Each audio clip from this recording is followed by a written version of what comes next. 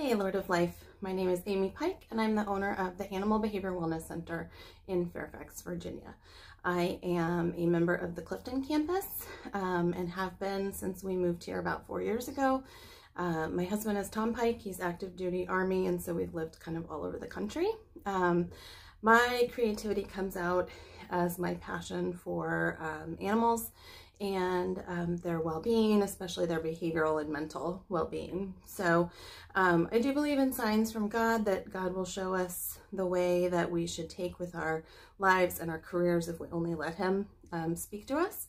So um, my career is kind of a varied one. I um, have been wanted to be a veterinarian since I was a little girl. I was one of those that collected lizards and um, and things from the backyard. When my dad ordered crawfish um, every year for our family crawfish boil, I would keep a few as a pet. Um, so I'm definitely one of those ones that from a tiny age wanted to be a vet. But I never really understood what I wanted to do within veterinary medicine because the field is so varied um, until I met my husband. Um, like I said, my husband is Tom and he is active duty. I met him the summer before I went to veterinary school and at the time he was going into the army. And I thought to myself, how am I going to make this work? Because um, I really like this guy, but he's going to travel all over the world potentially. And so what can I do that can um, align with um, his career? So I actually looked into being an Army veterinarian and fell in love with the field. Um, I did go active duty right after veterinary school and I was stationed at Fort Huachuca, which is a very tiny town um, kind of on the Arizona-Mexico border. At the time, um, this was 2003, and so we had kind of the first deployment of our military working dogs to Iraq, and many of these dogs came back having been involved in roadside bombs or incidences. And that's really where I delved into behavioral medicine.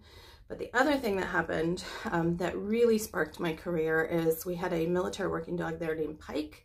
Um, ironically enough, we shared the same name. So of course I bonded pretty heavily with this dog. And unfortunately the dog was killed by um, one of the dog trainers um, using some pretty harsh training methods. And I knew at that moment that there had to be a better way um, to train. And so I really delved into behavior medicine. Um, again, I was following my husband. I got off of active duty.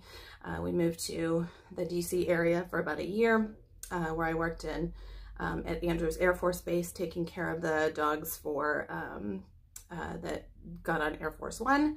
And then we moved to St. Louis and I was uh, still wanting to pursue behavior as a specialty and did a, ended up doing a residency there um, under my mentor, Debbie Horwitz who has definitely shaped my career.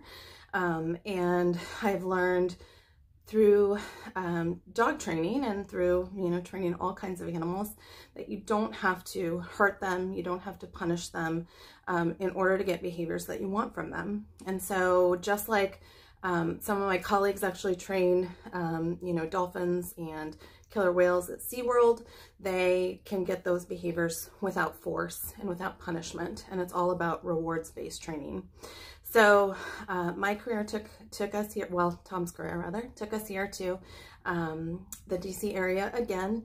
And um, we ended up at Lord of Life because it was just down the road. And interestingly enough, um, again, I think those Signs from God. Um, Nathan and I ended up going to high school together, uh, come to find out, in Tucson, uh, where both of us grew up. So, um, and Tom's twin brother, who's also a Lutheran pastor, um, and Nathan were in the same uh, seminary class. So just how things interestingly end up. I never anticipated owning my own uh, practice, but um, like I said, now I'm the owner of the Animal Behavior Wellness Center in Fairfax, Virginia, where we help all kinds of animals, dogs, cats, birds, um, pigs, horses, all kinds of things, um, learn uh, that the world is not so scary. So we treat animals with aggression, animals with anxiety disorders, etc. And we use all humane, non-forceful training methods in order to teach them. So I'm going to show you a few of the things that we do. Um, it's not all about uh, training in terms of like cueing an animal to do something. It's allowing them to work within their comfort level. Um, and you really can train any animal. So the first animal that I'm going to show you um, that we have trained is actually my cat. Um, this is uh, my cat Dobby, who's named after the character in Harry Potter, and my daughter Alexa, showing you how she has uh, trained her cat to do a fist bump. Nice. Oh, she got a jackpot. So one thing I wanted to explain to you of something that you saw in that video was that we train using a clicker. So a clicker is just a marker um, to indicate to the animal that that is the behavior that we wanted from you and a reward is forthcoming. So it basically acts like a camera taking a picture of the behavior for the animal.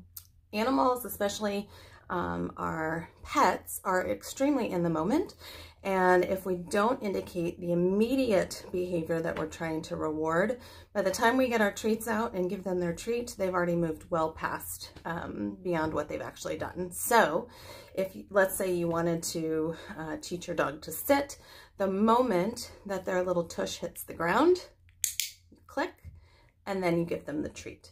So again, just a camera indicating to the pet that that is the behavior that we're about to reward. I mentioned SeaWorld trainers um, earlier. Many of you, I'm sure, have been to shows like that where you've heard the trainers give a whistle and the whistle is just the marker.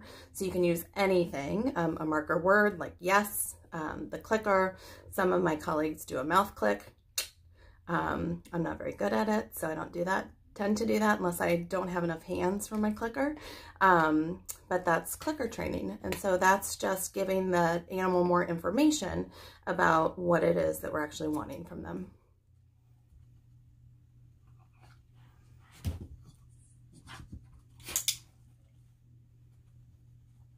Get out of my pocket, silly goose.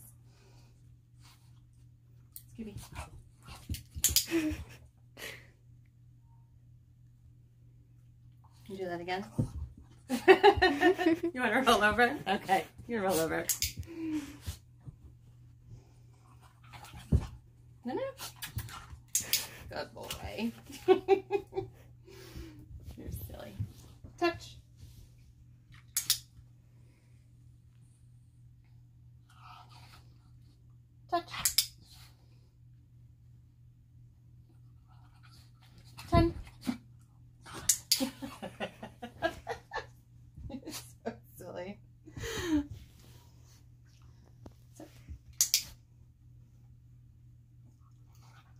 Down.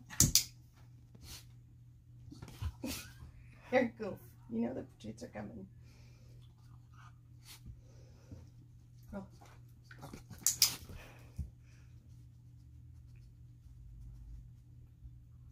Okay. Ten. Give me ten.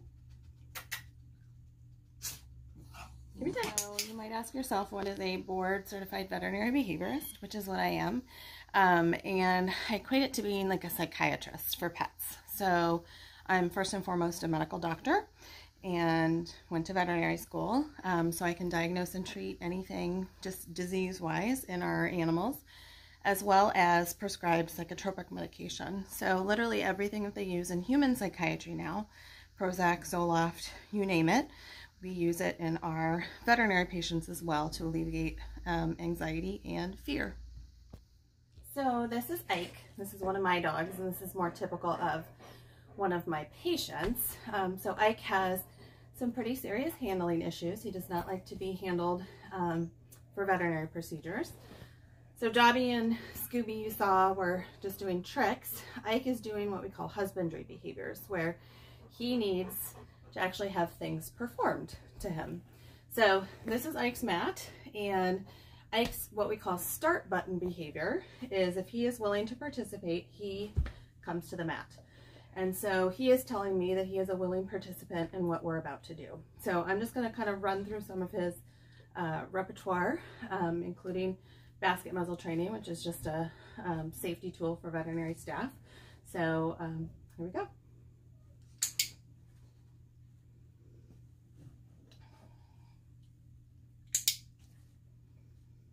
I'm just touching him to, to mimic um, veterinary procedures. I'll take my clicker off and do my mouth work.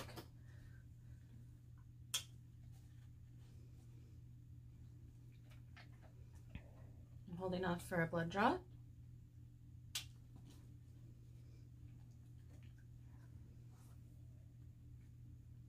Looking at his teeth.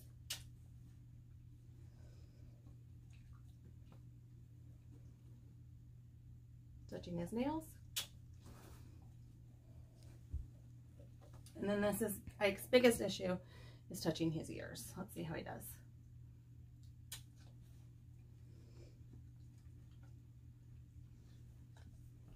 So he's backing up and telling me he doesn't want to do it. So I'm going to move on to something else. Touch.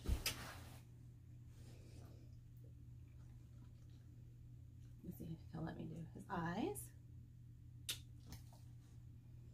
So basically this is how Ike gets examined um, from a veterinary perspective is every single thing we do, we click um, for that behavior to tell him, yes, you did really good job. Um, and he gets reward for it. So let's see if we can do his other ear. Good boy.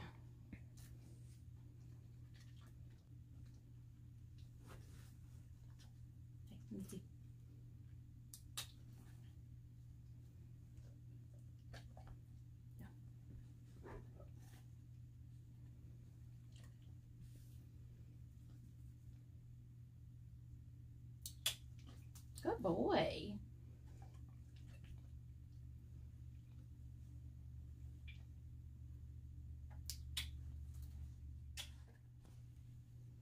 So you see how he's sticking his face in, not me putting it on him. Touch. You're funny. Touch.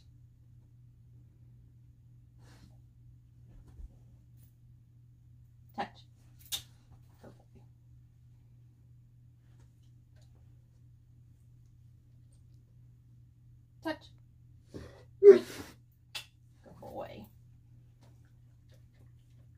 Touch.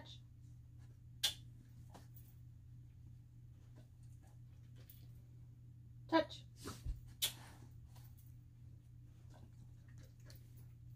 Touch.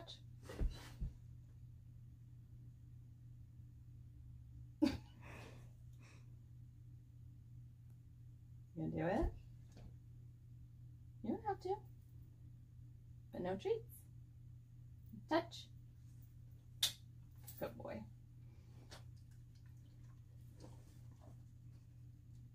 Touch. That's a good one.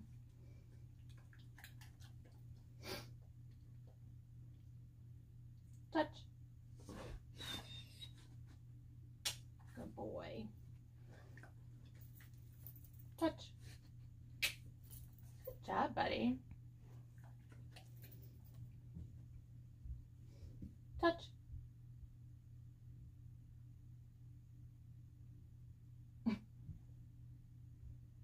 I think. Touch. Good boy. Touch. My passion for animals comes out um, in my uh, creativity with training, making sure that they're okay with um, them being handled, especially for veterinary procedures, um, and treating their anxiety disorders and aggression because they are all God's creatures and they deserve to have humane training. Thank you.